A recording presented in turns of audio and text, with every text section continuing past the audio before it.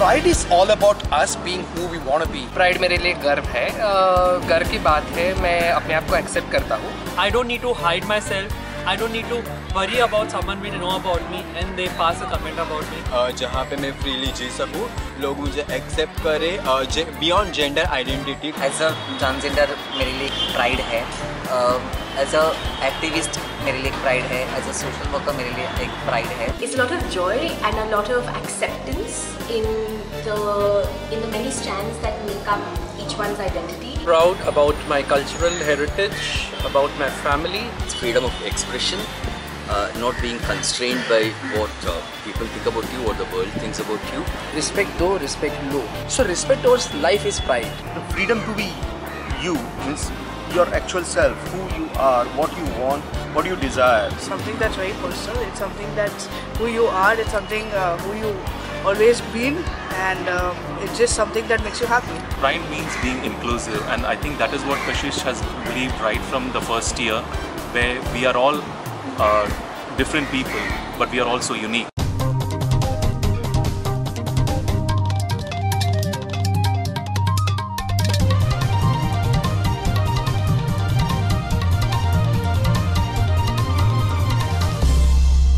Kashish has become one of the leading Pride events in India over the last eight years. Uh, it's grown to be not just a space where films can be watched, where the community can come together, but it's a place where community can come together with pride.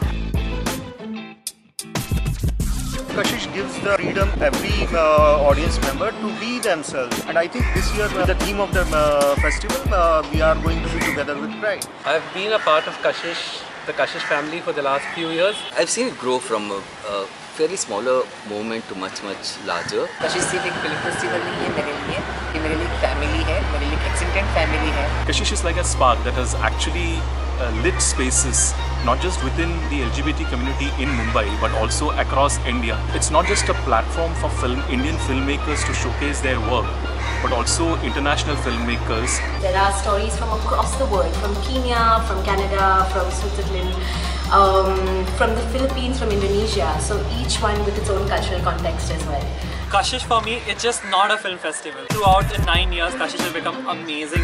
A family where you can be yourself, where you can celebrate the things, where you get a platform to show a lot of things. Kashish is also a sense of community that the community comes together to organize this wonderful uh, festival I think Kashish is like more than a film festival. That big happiness in all our lives, and that's what makes Kashish so special.